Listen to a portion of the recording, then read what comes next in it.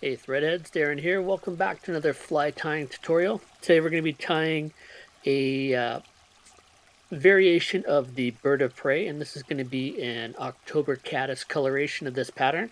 This one comes from a gentleman named Rick Anderson out of California. And we're going to be tying this one on a Mustad C49S, but if you want to use something else like a Daiichi 1120 or a TMC 2457, that'll be a great hook. You want something with a nice curved shank. It's going to give you a nice uh, caddis appearance. So you can uh, fish this basically, start fishing this type of fly uh, mid-September all the way up to the end of November. Works fairly well. There's a few other variations of the bird of prey, including like a black, brown, olive. Uh, this is the October caddis variation, one of my favorites. Don't forget to leave a comment below and I'll get your name entered into the next draw for some decals and some of the flies that we tie on the channel. Alright, let's have a look at the material list and get started.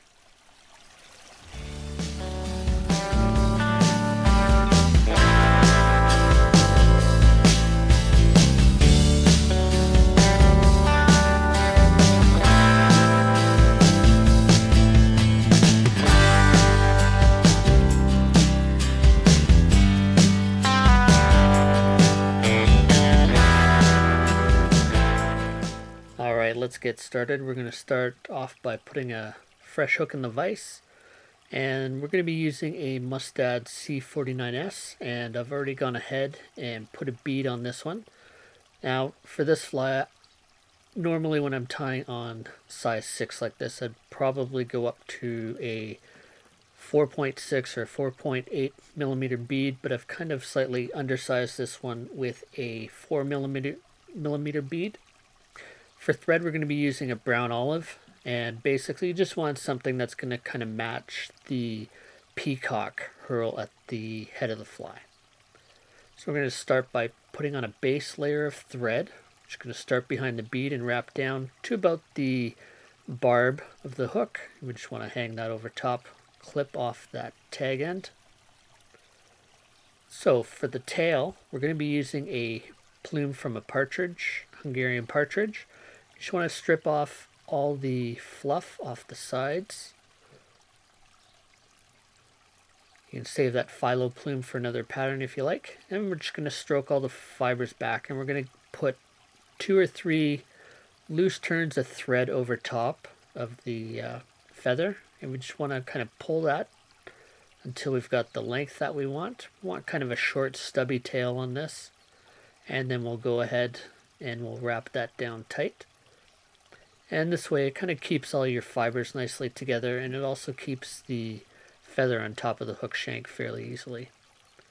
So we'll just kind of wrap that up to behind the bead just to kind of keep everything uniform on the hook shank. We'll clip off the tag end and we'll clean up the wraps on that a little bit.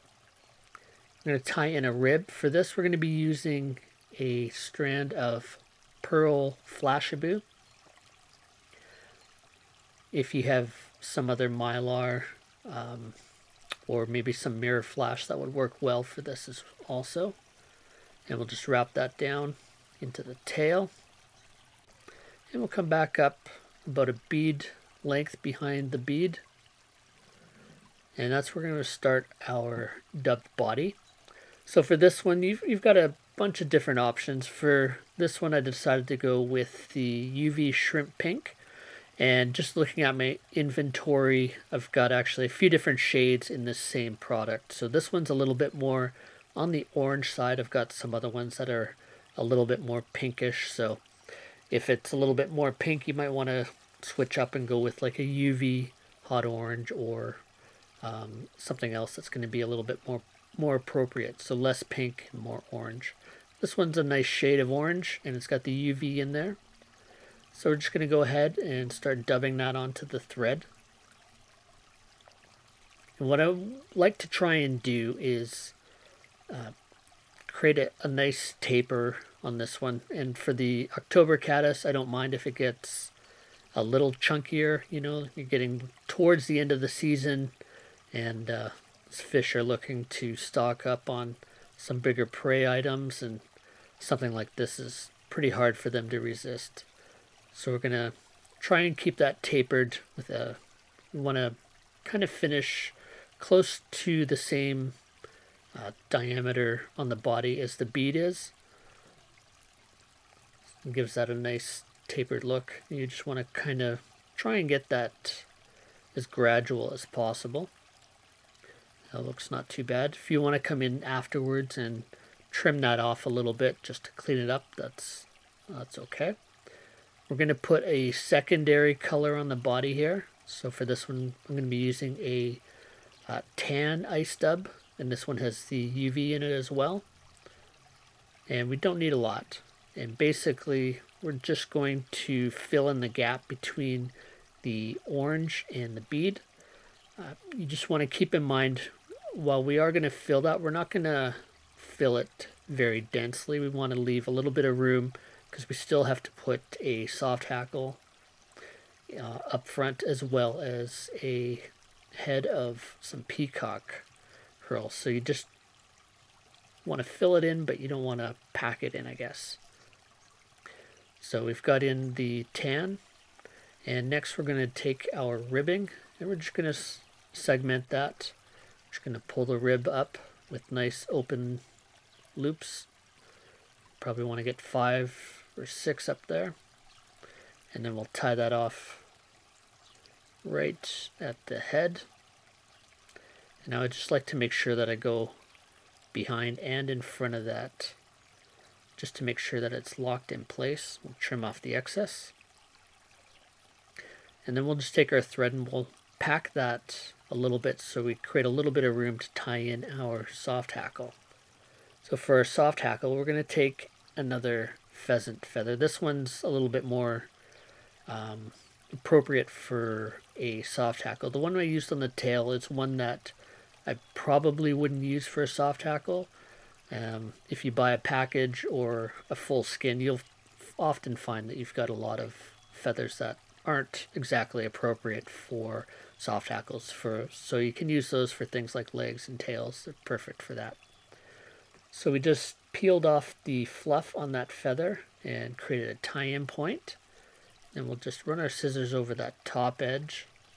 Just kind of pull all those fibers down or backwards. And just when we wrap that, it's going to create a nice uh, cupped soft hackle over the body of the fly. So we'll just give that a wrap. You're probably going to get anywhere between one and a half to two wraps with a hackle. And the idea of it is to get a nice distribution of the uh, fibers around the circumference of the fly, but doesn't always work out that way. Sometimes they clump up a little bit, especially when you're putting more materials over top. So we'll just bind that down, make sure that that stem is secured. We'll come underneath and trim off the excess stroke everything back and just tie it down a little bit. Just create a little bit of space that we can tie in our peacock herl.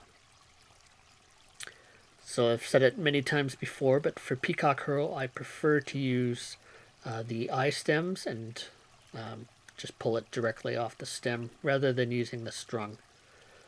So we're going to take four herls for this one, and we'll trim the the uh, uh, feet off that, I guess. And we'll tie those in with a little bit of room because we're going to trim those flush with the bead.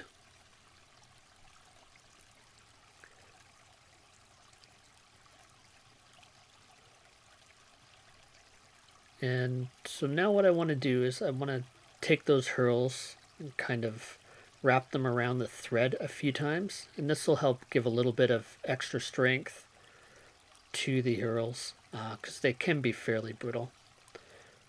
So I mean you don't have to do um, this step if you don't want to. And it can be a little bit tricky but it does give the peacock herl a little bit of extra added strength. So we'll tie those off make sure we get on both sides of those underneath and over top just so that they're locked in place and we'll cut those off once we're comfortable with uh, how secure they are. And then we're going to grab our whip finish tool and we'll whip finish this fly. So probably want to give a fairly liberal dose of head cement on here and what I like to do is just put the cement right on the thread wraps and let it soak in and uh, soak under the peacock herls a little bit and it just kind of helps um, give that fly a little bit more durability. You can see when you put the head cement on there kind of gets sucked into the thread wraps and into the peacock herl a little bit. There you go, there's Rick Anderson's Bird of Prey, and this is the October Caddis variation.